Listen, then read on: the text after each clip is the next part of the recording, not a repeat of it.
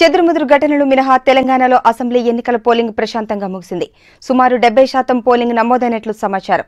ఈ నెల పదకొండున తెలంగాణలో సహా ఐదు రాష్ట్రాల ఎన్నికల ఫలితాలు విడుదల కానున్నాయి. సాయంత్రం ఐదు గంటలకు పోలింగ్ ముగియగా ఐదు గంటలలోపు పోలింగ్ కేంద్రానికి చేరుకుని క్యూలైన్లో నిలిచిన వారికి ఓటు వేసే అవకాశం కల్పించారు.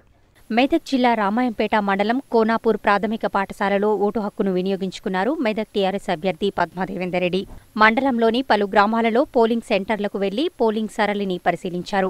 అరవై సంవత్సరాలలో జరగని అభివృద్ధి నాలుగున్నర సంవత్సరాల్లో చేసి చూపించామన్నారు. మళ్ళీ కేసీఆర్ ప్రభుత్వమే రావాలని ప్రజలు కోరుకుంటున్నట్లు ఆమె తెలిపారు. వంద సీట్లకు పైగా టీఆర్ఎస్ కైవసం చేసుకుని ప్రభుత్వం ఏర్పాటు చేయడం ఖాయమని కేసీఆర్ మళ్ళీ సీఎం అవడం ఖాయమన్నారు. రాబోయే రోజుల్లో మెదక్ నియోజకవర్గంతో పాటు తెలంగాణను మరింత అభివృద్ధి చేస్తామన్నారు. చిన్నశంకరంపేట మండలంలో పోలింగ్ కేంద్రాలను పరిశీలించిన మెదక్ నియోజకవర్గ బీజేపీ అభ్యర్థి ఆకుల రాజయ్య మెదక్ నియోజకవర్గ ప్రజలు ఎక్కువ శాతం బీజేపీకి ఓట్లు వేస్తున్నారని ఖచ్చితంగా మెదక్ నియోజకవర్గంలో బీజేపీ విజయం సాధిస్తుందని ఆశాభావం వ్యక్తం చేశారు. కాగా పోలింగ్ కేంద్రాల వద్ద అన్ని రకాల సౌకర్యాలను కల్పించారు అధికారులు. వికలాంగులను వీల్చైర్లపై పోలింగ్ కేంద్రాలకు తీసుకెళ్ళారు. ఉదయం ఏడు గంటల నుండి పోలింగ్ ప్రారంభం కాగా పలు గ్రామాలలో ఈవీఎంలు పనిచేయకపోవడంతో ఓటింగ్ ఆలస్యంగా ప్రారంభమైంది. అరవై సంవత్సరాల్లో జరిగిన అభివృద్ధిని నాలుగున్నర ఏళ్ళలోనే చేసి పెట్టిన కేసీఆర్నే మరి మళ్ళీ గెలిపిస్తామని చెప్పి ప్రజల దగ్గరికి వెళ్ళి స్పందన వస్తూ ఉంది.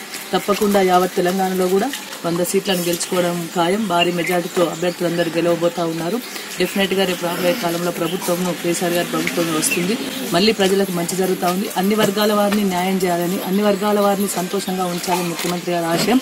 డెఫినెట్గా రాబోయే తరానికి ఒక మంచి తెలంగాణ రాష్ట్రాన్ని అందించాలని చెప్పేసి ముఖ్యమంత్రి గారి ఆశయం.